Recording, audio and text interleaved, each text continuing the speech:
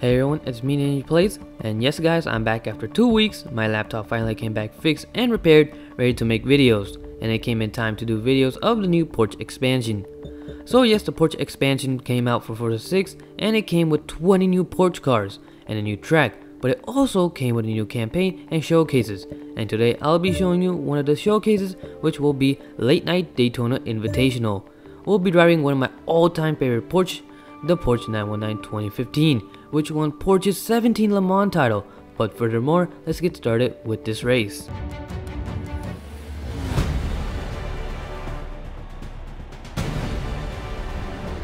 The Porsche 919 hybrid prototype takes center stage in this late night event.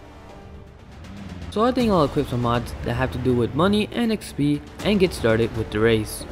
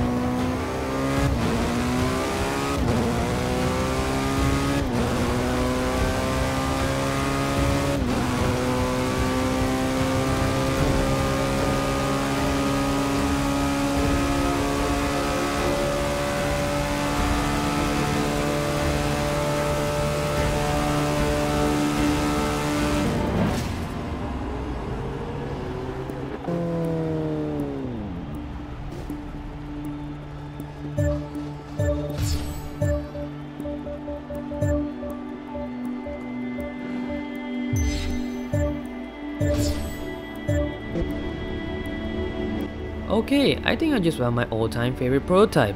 I love the speed and acceleration this car brings. This is such a lovely LMP car.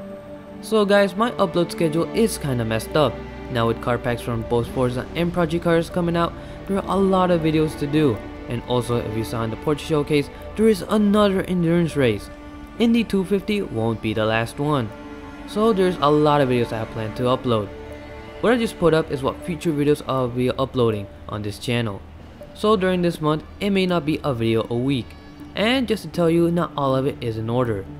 So for now guys, if you enjoyed this video, don't forget to hit thumbs up, subscribe, and I'll see you guys in the next video. And guys, thanks for your patience with my 2 week absence. See you guys later.